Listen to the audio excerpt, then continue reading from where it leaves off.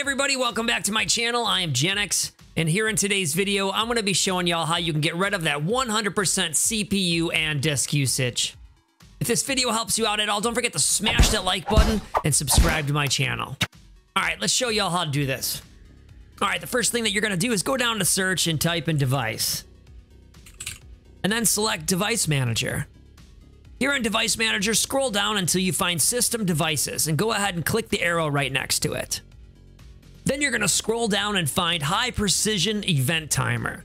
Go ahead and right click and disable the device.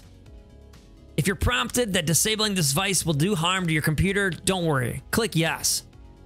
Once you're done disabling High Precision Event Timer, go ahead and close the Device Manager. Next, we're going to go down to search and type in Power Plan and then select Edit Power Plan. Once the Edit Plan settings is open, go ahead and choose Change Advanced Power Settings. Once the Power Options window opens, go ahead on this scroll down, select it, and then choose High Performance. Once you have High Performance selected, go ahead, click Apply, and then click OK.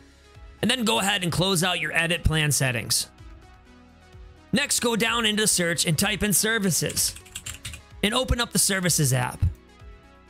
Once the Services tab is open, go ahead and scroll down until you find Remote Desktop Services. Once you've located it, right click, select Properties. Once Properties is open, here on Startup Type, go ahead, and select Disabled, click Stop, click Apply, and then click OK. Next, you're going to be looking for sysmain, S-Y-S main. Once you locate it, right click, click properties.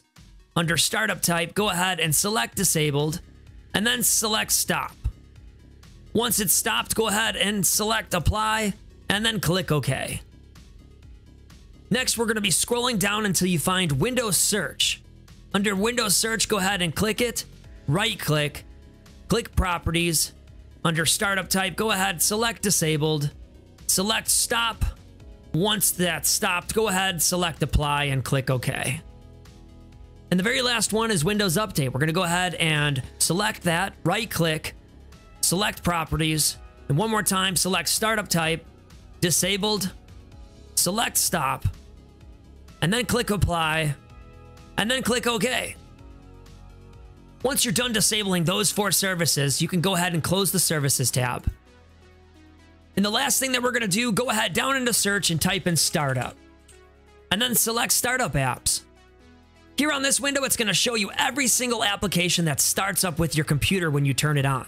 If you see something that's not supposed to be here or something that you just don't want turning on with your computer when you turn it on, go ahead and turn it off.